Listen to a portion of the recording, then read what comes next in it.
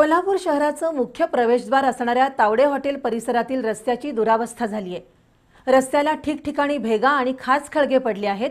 त्यामुळे वाहन चालवताना तारेवरची कसरत करावी लागतीये. शहराच्या प्रवेशद्वारातच खड्डे पडल्यानं कोल्हापूरची बदनामी होतीये असा आरोप करत शिवसेनेच्या वतीनं जुन्या टोल नाक्यासमोर आंदोलन करण्यात आलं. पुणे बेंगलोर महामार्गावरून तावडे हॉटेलमार्गे कोल्हापूर शहरात येणाऱ्या मुख्य रस्त्यावर ठिकठिकाणी खड्डे पडले आहेत. रस्त्याचं काँक्रीट उखडलंय. काँक्रीटच्या रस्त्यावर ठिकठिकाणी भेगा पडल्या आहेत. कोल्हापूर शहराचं मुख्य प्रवेशद्वार असणाऱ्या या रस्त्याची प्रचंड दुरावस्था झाली आहे. त्याच्या निषेधार्थ करवीर तालुका शिवसेनेच्या वतीनं तावडे हॉटेल ते जुना टोलनाका परिसरात आंदोलन करण्यात आलं. रस्त्यावरून प्रवास करताना सावधानता बाळगण्याचं आवाहन करणारे आणि खड्डे मुजवण्याच्या मागणीचे फलक लक्ष वेधून घेत होते. महापालिका आणि संबंधित विभागानं अपघात होण्याची प्रतीक्षा करण्यापेक्षा या रस्त्याची तातडीनं दुरुस्ती करावी अशी मागणी शिवसेनेचे तालुका प्रमुख राजू यादव यांनी केली आहे.